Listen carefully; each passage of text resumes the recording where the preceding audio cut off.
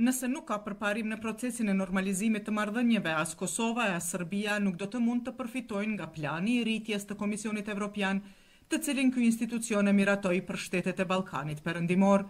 Bëhet fjalë për pakon e madhe financiare në shumë nga gjashtë miliardë euro për periudhën e viteve dy mijë e njëzet e katër, dy mijë e njëzet e shtatë. Mirëpo për të përfituar nga këto mjete, të gjitha vendet e rajonit duhet të respektojnë, siç thuhet, mekanizmat efektiv demokratik, përfshirë këtu sistemin parlamentar shumëpartiak, sundimin e ligjit, si dhe të drejtat e njeriut, përfshirë ato të minoriteteve.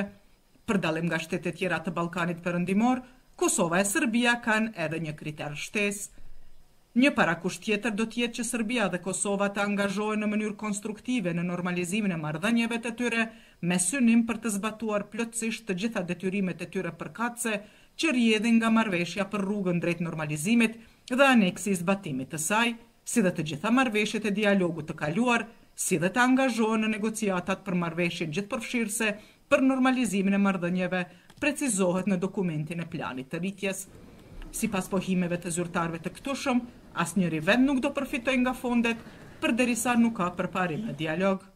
Ndryshe, në kuadër të shumës nga gjashtë miliardë euro sa janë ndarë sipas planit të rritjes, deri në dy miliardë euro planifikohet të shkojnë në formë të asistencës pa kthim për shtetet e Ballkanit Perëndimor.